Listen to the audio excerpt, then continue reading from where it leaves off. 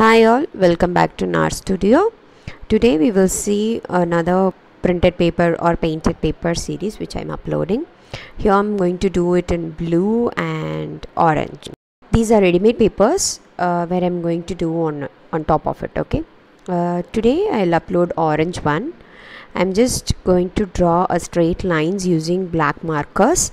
You can also put straight lines using paint here I'm just making it an easy one so I'm just using marker.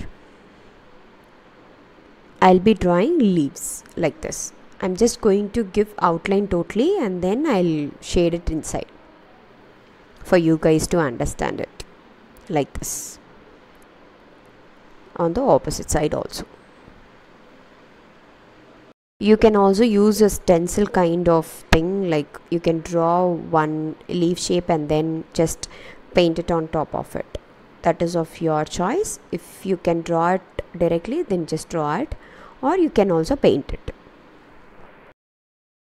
Here I'm just using the markers. It's done. I'm just going to give a little bit broader stem like this. I'll be using gold color paint to give a flower like thing on top. Okay? Like this it will be like a half circle which will be cut like half semicircle kind of thing. Okay? See like this. Okay? If you want to get a exact line on top there is also a way.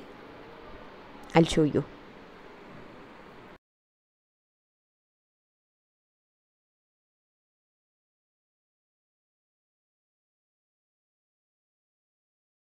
let me just put all the outlines and then I'll show you another method.